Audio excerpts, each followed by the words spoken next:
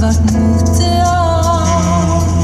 Men landet kan nok med sitt, og kjærleiken den kjennes litt, og du spør deg hvor vart nåden av.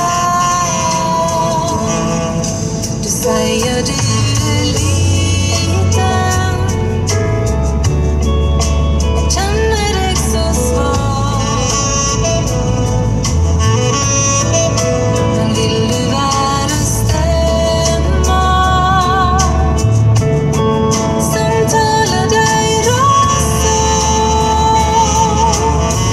til en sending fra Radio Gnisten.